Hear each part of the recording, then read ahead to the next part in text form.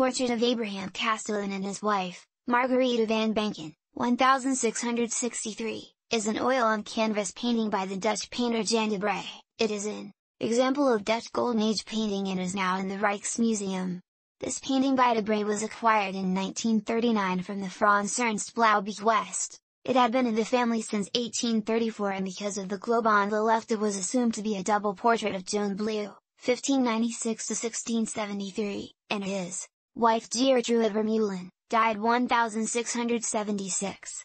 The next year it was determined the couple was clearly too old at the time to be the youthful newlyweds, portrayed in the painting, and it was speculated that they were therefore the son of Blaeu, Willem Blaeu II, 1635-1685, and his wife Anna van Loon, 1638-1680, though their ages didn't match either.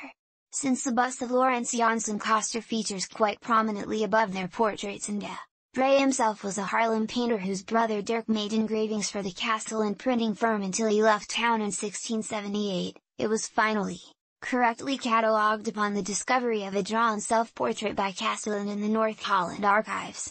The couple Abraham Casteleyn and Margaretha van Bancken owned the house known as In de Druck where they printed publications for the City Hall and the first Haarlem newspaper, on the Grote Markt, Haarlem.